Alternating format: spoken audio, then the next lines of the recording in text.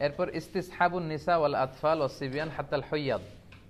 বিষ্ণু ইসলাম বলেছেন, ঈদের নামাজে যখন তোমরা যাবে, নারীদেরকে, বাচ্চাদেরকে ফ্যামিলির সবাইকে নিয়ে যাবে, কাউকে ঘরে রেখে যাবে না।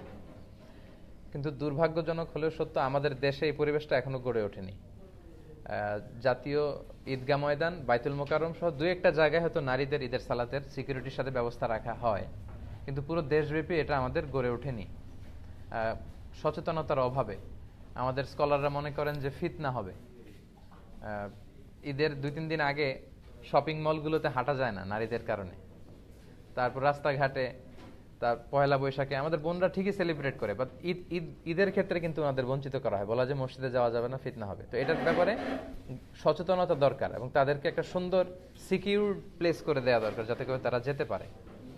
বিশ্বনবী এটাকে এত গুরুত্বপূর্ণ বলেছেন বিষ্ণনবী বলেছেন, হাত্তাল হইয়াদ।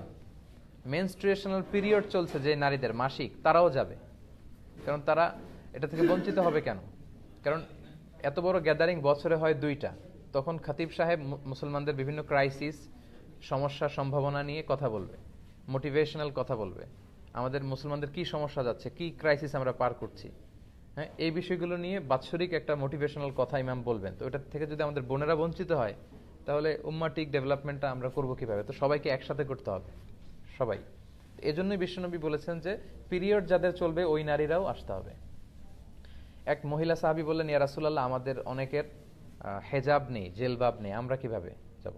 আল্লাহ রাসুল বললেন, তোমাদের যেই বোনের দুই তিনটা জেলবাব আছে, তাদের কাছ থেকে বড় করে নিয়ে যাবা। যাদের তিনটা আছে, অন্যদেরকে ধার দিবা, নামাজের পরে আবার তোমাকে দিবে। তারপরেও আসবে।